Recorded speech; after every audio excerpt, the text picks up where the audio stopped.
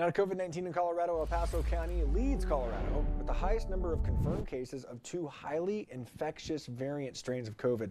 That's according to state data. KRDO News Channel 13's Natalie Haddad joins us now live in the newsroom after speaking with health leaders. Josh and Bryn, so far the California, UK, and South African variant strains are all present in Colorado. But the El Paso Health Department says there is one strain that seems to be most prevalent in our area. When looking at the list of different COVID 19 variants, it may look like code, confusing and hard to decipher. The issue is that when we see these variants emerge, they do spread easier. Colorado has more than 1,200 variant cases, and as far as absolute numbers go, El Paso County leads the way on where these cases are found. B117 or the UK variant is the one that we're seeing as far as absolute numbers more of.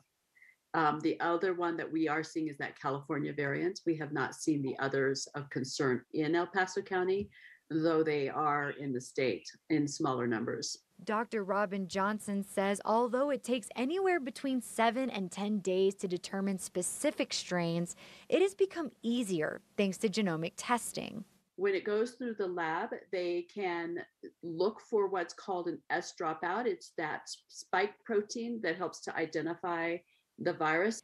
Scientists are working to learn how easily these variants spread, whether they could cause more severe illness, and whether vaccines will protect people against them.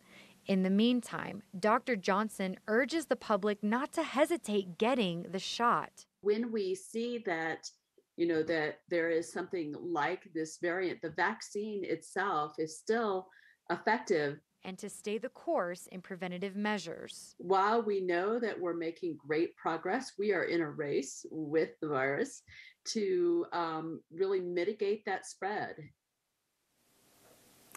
The El Paso Health Department says social distancing and layering when masking are our best weapons in reducing the spread of all known variants, no matter the strain. Live in the newsroom, Natalie Haddad, KRDO News Channel 13.